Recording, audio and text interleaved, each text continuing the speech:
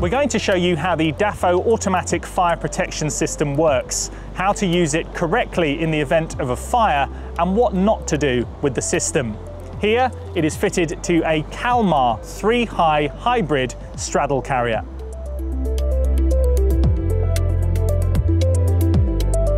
The DAFO system is specifically designed, tested and proven to be the best option for robust, reliable, third-party accredited and insurer-approved fire protection for plant and machinery. In hybrid machines, such as this, the DAFO PFK is added, a clean agent solution specifically to protect the hybrid battery compartment on the machine. This system is triggered using marine spec smoke detection. The system gives significant cost savings as it only requires one service per year, which in turn reduces downtime. As part of your routine checks, please consult your safety and maintenance card located in the cab.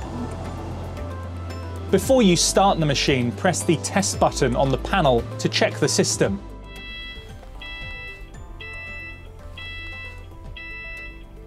If the panel shows a fault light, inform the shift supervisor and contact your DAFO engineer. If fire or smoke are detected, the relevant zone, either the engine or battery compartments, will activate to resolve the issue.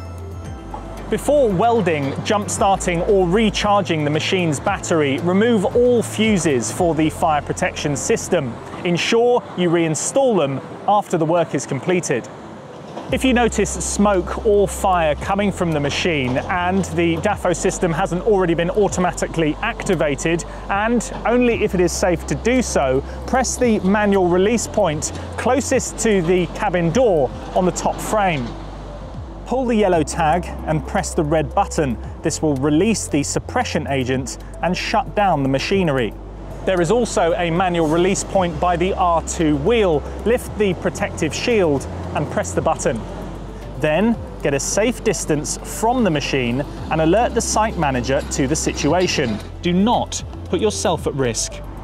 The DAFO system has a diagnostic tool which will tell us why the system has been activated. This gives us comprehensive accountability when investigating a DAFO system release incident.